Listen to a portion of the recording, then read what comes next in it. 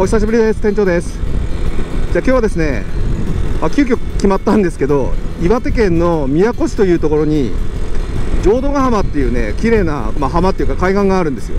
でちょっとねそこに行ってみたいと思います。それではね本日もよろしければ最後までよろしくお願いします。今日ね朝友達の T 君から急に電話来てねまあ急遽会社が休みになったのでどっか行きませんかって電話があったんです。でまあねそんなことあんのかなって思いますけど急遽会社が休みになったことなんて僕僕の経験上ないですけどね。まあまあ分かんないですけど どういうあれなのかまあそれで、まあ、どっか行こうって話になってでまあ じゃでもどこ行こうってことでまあ T 君が前からなんか宮古市に行きたいみたいな話しててで宮古市ってでもね僕が住んでる青森県八戸市からまあまあ距離あるんですよ。まあでもまああるって言ってもね片道100、140キロくらいかな。まあでもまあまあ距離あるじゃないですか。まあそれで前までちょっと行ってなかったんですけどまあ今回はちょっとだから時間があるしってことで、まあ、本来であればそれだけ遠出するんだったら僕は午前中から行きたいんですけどちょっと昼頃出発になっちゃいましたけどそれで今岩手県の久慈市っていうところに着いてます。で今12時37分ですね。でこのまま行けばまああと1時間半から2時間くらいで着けるんじゃないかなって思います。で宮古市のその浄土ヶ浜はね僕も数年前に1回行ったことがあるんですけどそこもね海猫が結構多い場所なんですよ。で綺麗な場所で僕も好きな場所なんでねすごい楽しみにしてます、まあ、今海猫いるかどうかちょっと分かんないですね。時期的にどうなんだろう。八戸にはすごいいましたけどね。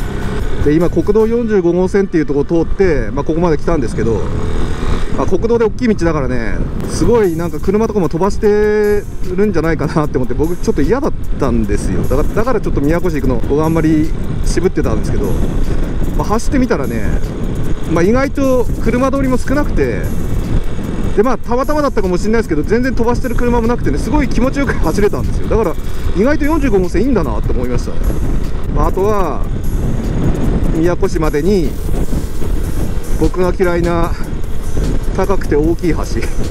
が ないことを祈るばかりです。もうあれは本当無理なんで。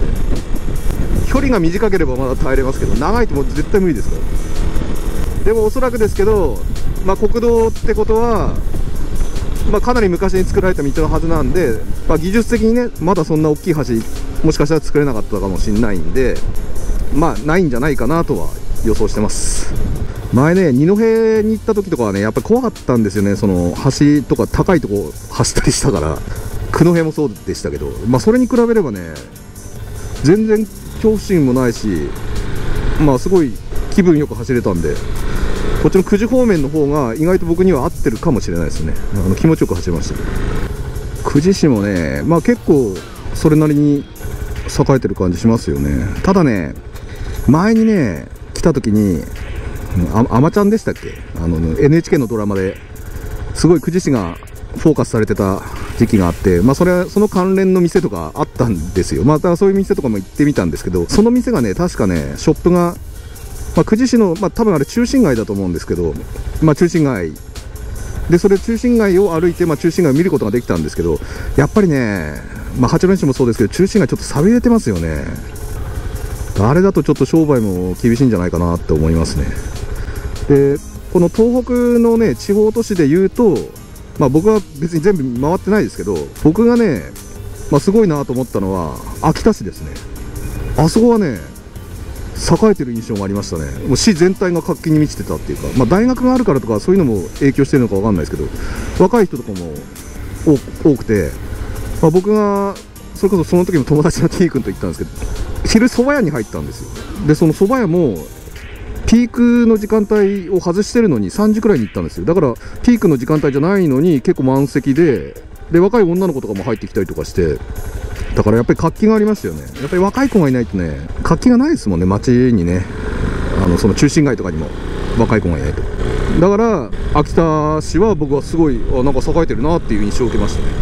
岩手県だとねあとまあ盛岡市とかもあるんですけど盛岡もね去年初めてったんですよ僕も。新幹線で通過は何回もしてるんですけど行ったことはなくて初めてその市街とかちょっと見てみたんですけど盛岡もねまあ僕の印象ですけどまあちょっとやっぱり活気がないような印象を受けましたね。駅の周りもなんかちょっと活気がないっていうか静かだなっていうような印象を受けました。秋田市がね僕は一番印象良かったです。まあ、あとはもちろんね仙台とかはね、あ、ああいうとこはもう大都市なんでまた別格でしょうけど秋田市はね良かったですね印象は。今ねこのトンネル通ってますけどねトンネルもね僕結構ね苦手っていうか何でも苦手じゃないかって話だけどなんかこの滑りそうなつるっといきそうなんですよトンネルのこの下の路面が。まあそんなことはないんでしょうけどいやひんやりする。でまあねまあいずれにしても初めて通る道でまあ車では通ったこと1回か2回はありますけどバイクでは初めてなんでねちょっと気を引き締めていきたいと思います。でねあの昨日かおとといちょっと YouTube 見てたらあれは何だろうな。それこそあれかノッチノッチさんか。ノッチさんだったよね確か。あのノッチチャンネルって あのデンジャラスのノッチさんっていうお笑い芸人の方がやってるチャンネルがあって僕それ好きでねチャンネル登録して見てるんですよ。でねそのノッチさんが なんかバイク屋の息子さんらしいんですよ。実際は。でバイクがもすごい好きで昔から乗ってたって。言ってでそのバイクの試乗動画とかいろいろやるんですけど本当にね目を輝かせてね語ってるんですよ。だから本当にバイクが好きなんだなっていう。のが伝わってくるからもう好きなんですよ僕もそういうの。やっぱり人がね好きなことやってるの見るのってやっぱりいいですから。だからのっちさんもだからまあ芸人お笑いも好きなんでしょうけど、まあ、そういうね本当に好きなバイクとかもうだから今 YouTube があるからそうやって発信できるじゃないですか。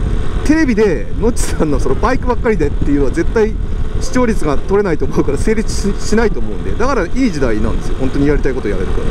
からすごいいいと思います。ねでそののっちさんのチャンネルで確かそのレース場っていうのバイクのレースを行うところで、まあ、体験で走るっていう時にインストラクターの方が足をやっぱりそのニーグリップの時に足のつま先の部分をまあ開いてしまうとニーグリップがまあ安定しないっていうかね。っちりできないから内内側につま先を内側にするようにするといいっていうふうにおっしゃってたんですよ。でそれ今回僕今やってるんですけどそれやるとね確かにいいですね。もうかっちりニーグリップできますね。そんなに力は必要ない。2で要は締めようとして力を入れなくてもつま先を内側に傾けること傾け内側にすることによって勝手に締まるんですよ。だから少ない力できっちりグリップできるんでこれすごいいいと思いますね。試してみてください。まあもちろんすでにそんなことご存知の方も多いでしょうけどまあ初心者の方ね僕みたいなね。まあそういう風なやり方もあるみたいです。あー結構綺麗ですね。まあ、今ちょうど60キロくらいで走ってますけど後ろの車も別に煽ってこないんでありがたいですね。非常にいいです。ねまあ本当はね T 君もバイク買ってくれればね、まあ、バイクで来た方が絶対2人で行った方が楽しいからそうしたいところなんですけど、まあ、まあ T 君は死ぬわけにはいかないからバイクには乗らない。って言ってました。興味がないわけじゃないけど大学の時に、まあ、彼もなんか原付乗ってたらしいんですけどそれ最近初めて聞きましたけどあ乗ってたんだ。いいなって。あでも最終的になんかいたずらされて盗まれそうになったってなんか諦めたみたいな跡があってまあそれで、まあ、ちょっともう壊されちゃったみたいな悲しいあれもありましたけど、まあ、興味はあるけど死ぬわけにはいかないから乗らない。まあそうでしょうね。そういう多いと思いますよ。やっぱり。事故が起きた時に死ぬ確率高いですからね。まあだからまあだからこそまあ安全運転で、まあ、気をつけてね。やると。やっぱりスピードが出るバイクには、まあ、まあ僕はもう乗らないようにしようとは思ってます。まあスピード出なければ出しようがないからね。それが一番いいと思う。スピード出るバイクだとね絶対出しちゃうと思うんだよね。でしかも反応速度がやっぱり年齢で鈍ってるから昔よりも多分鈍ってると思うんでね。だから余計ちょっとスピードはあんまり僕は出さないようにしてますね。出さなくても楽しいんだもんだって。であとね僕思ったんですけどまあ、バイクで遠出して、まあ、美味しいもの食べたりとか景色見たりとかして、まあ、そういう目的で行くのもいいんですけど結局ね、まあ、僕とかはあんまりそういうの実は興味ないなっていうのに気づいたんですよね、まあ、美味しいもの食べたりとかもそれが好きだったら普段から行くはずだしで僕別にそんな行かないんですよ、まあ、ラーメン屋新しくできたらちょっと行くくらいチェックしにだしあとまあそのそんな観光地もねそれほどまあ一応目的地として定めたとしてもだからといってそこに行ってそんな感動することもなくてだから結局僕は何が楽しいかっていうとバイクに乗ってるのが楽しいんですよ、まあ、それが目的なんで。まあ、それそれにちょっと気づいたんでね。だからまあそういう目的地とか定めなくてもちょっとブラブラ走ったりするのでもねまあ僕は楽しめるんだなと思ったんで、ね、まあ、ちょっとそういう、まあ、方向で多分今後行こ行こうかなと思ってますね、まあ、楽しみ方人それぞれでしょうね。僕はだからこの自分が知らないルートを開拓したりとか知らない裏道とかをね見つけてったりするのが多分楽しいんだなっていうのを、まあ、自分自身を振り返ってねちょっと思いましたね。はいじゃあ今看板で宮古があと83キロ。その上に仙台が344キロってありますけどね。仙台なんてね車で行こうなんて僕は思いませんけどバイクだったらねちょっと行きたいなって思いますね。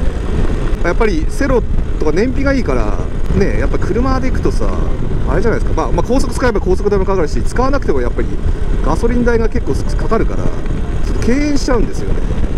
でもセロだとまあ今みたいなこういう国道をずっと走るみたいな感じで走るんであれば燃費がね僕最高でねうんとねこの前恐れ恐山行った時ですけど51.6キロっていう燃費出たことあるんですよ。だから50キロ超えると思わなかったらすごいなって思ってまあこれそれはまあちょっと最大瞬間風速的なあれかもしれないですけどまあでもね、まあ、その近くは行くと思うんでそうなるとねやっぱり安心感があるっていう。か、まあ僕は燃費がいいと嬉しい方なんでやっぱり緑がね綺麗ですね。やっぱ今いいい時期ですよ。で気温もちょうどいいんですよ。暑すぎず寒すぎずって感じで。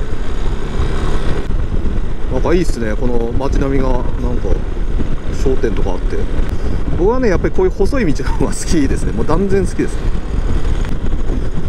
まあ45年前にね宮古行った時多分この道通ってるはずなんですけどもう全然記憶ないですねなんかもっと田舎だ田舎の道通ってるような気がするんだよなこういうなんかちょっと街を通るような記憶はないんだけどなあもう曖昧ですからね記憶なんてものはあそういえばねここ来るときに八戸市内走ってるときに女性ドライバーにあれ幅寄せっつうのウインカーでさあの自分より少し前だったらいいんですけどほとんど同じくらいのその位置関係でいきなりウインカーでこっち突っ込んできたんですよ。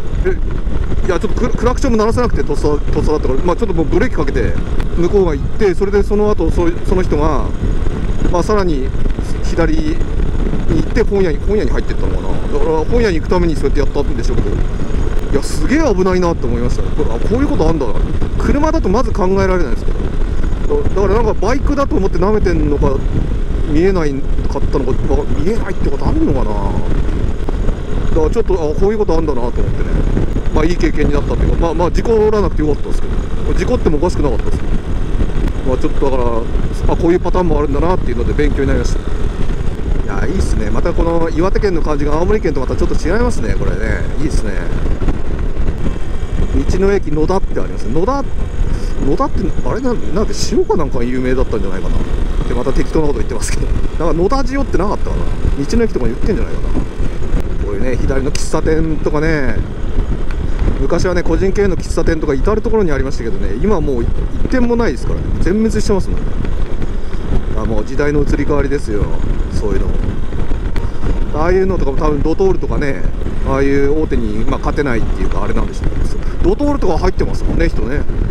たまにね僕とかはその個人の東京とかだとまだね残ってたりとかするんで個人の喫茶店とか、まあ、そこで入ったりしてああなんか昔ながらの喫茶店でいいなって思いながらね一服したりとかしたりしてましたけど。あああれだ。これ多分津波があったからその防壁っていうかですよねこれ多分ねああすごいねだから津波が来る前はだからあれがある前はここから多分海が見えたはずですよね。ああだから綺麗なこれ多分ここら辺も右側作り変えたんでしょうねおそらくね。あのねやっぱりね八戸市はねまあそこまでいや被害あったんですけど実際すごかったんですけどまあこっちに比べるとまだマシでしたからね。こっちはもうほんとすごいから。すごいね。まあこういうの見るとねやっぱり思い出しちゃいますよね。数年前にね僕も復興のボランティアで先輩に誘われて住田町かな？岩手県の。行ってちょっとまあボランティアとかやったことあるんですけど。当時のね、まあ、小学校とかに行ってちょっと清掃とかしたんですけど、まあ、まあ、その他にもいろいろやったんですけど、まあ、とりあえず小学校行った時にもうあれなんですよね。当時の3月11日の日付のままで残してるんですよ。黒板のあれすごいですね。見えますかこれ。すごいよ。この上から見る感じがすごい。いやいいな。あ気持ちいいですね。いやこれで高所恐怖症克服できればいいんだけどな。いつの間にか高所恐怖症みたいになってるっていう。ね納得いかないですけどね。これってさ YouTube の生放送とかで、ね、やってる人いますよね。これバイクに乗りながら生放送をやった人って今までいるのかな？それもしいなかったらちょっとやってみたいですよね。なね生放送で。需要があるのかって話だけど。いやーなんだこれ。あ大丈夫か？大丈夫そうだな。端にビビってるって。い ういや結構高えな。生ウニ丼だって。美味しそうだね。いいなたまに食べたいですよね。高級品だからめったに食べないけどたまに食べたいですよ、まあ、3000円はしますからね。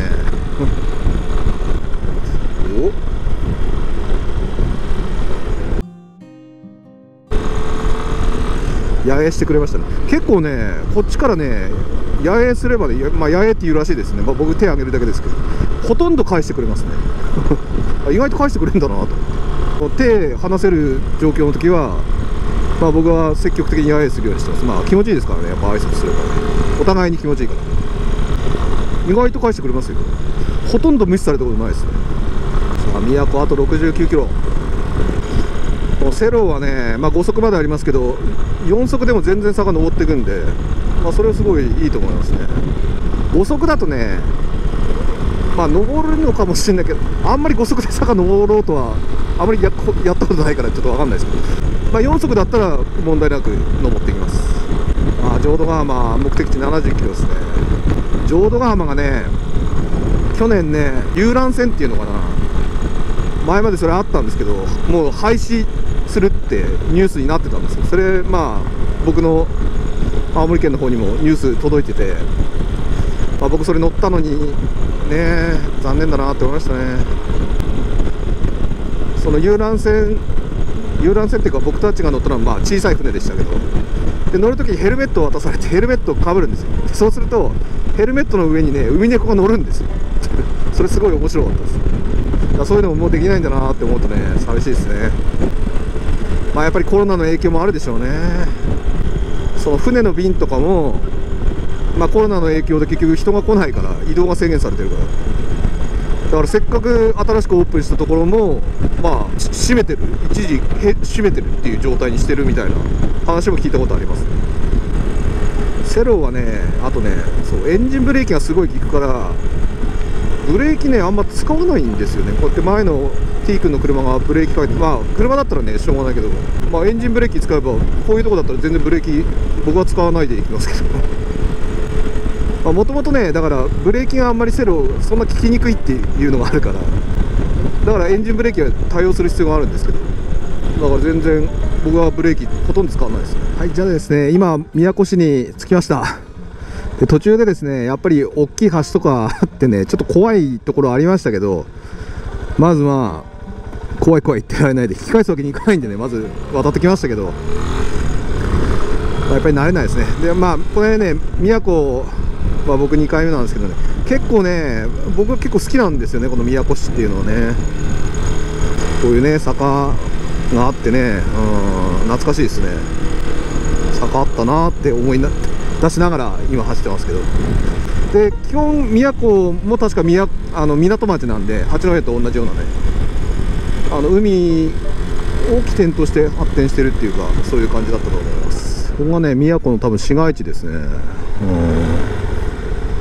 銀行とかあるからね。浄土ヶ浜着いたんでとりあえず観光します。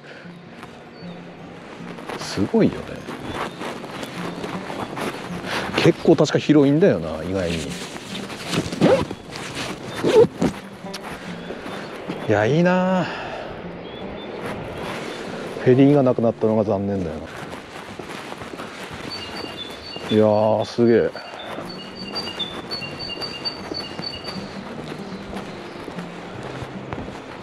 景色いいなやっぱりな。700メートルあるな。いやいや俺は別にいいけどまいいんだがいいよ。ね。ああじゃあいいよ。行こう。これ見えますかね？すごい絶景ですね。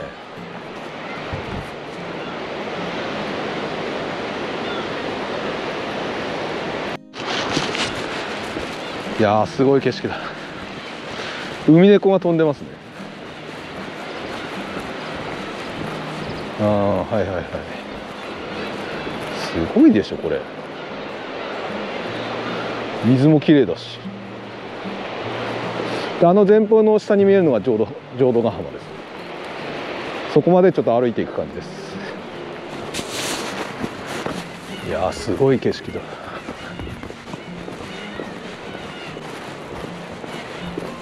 おすげえ。なんか撮ったんだ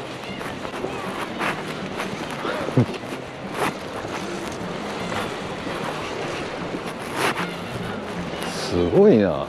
あ素晴らしい景色。浄土ヶ浜あれ？売店？えなくなるわけねえよ。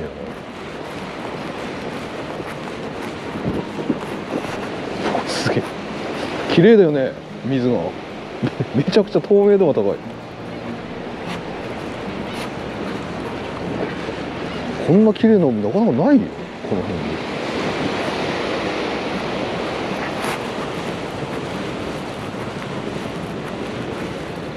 はいここがね浄土ヶ浜です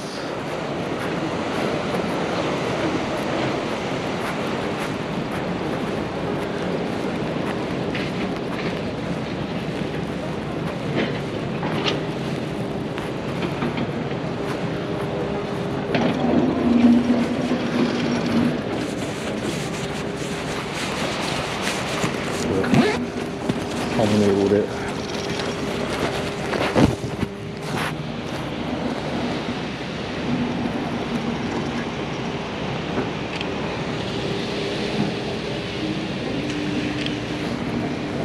写真撮ってあげようか。写真。いらない。うお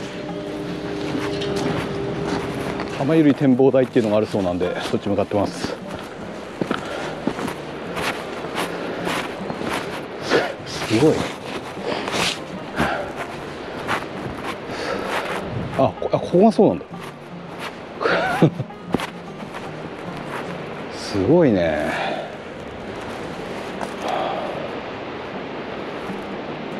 この海の透明度にちょっと驚いたのもうすげえ透明度。あそこで釣りやってますね。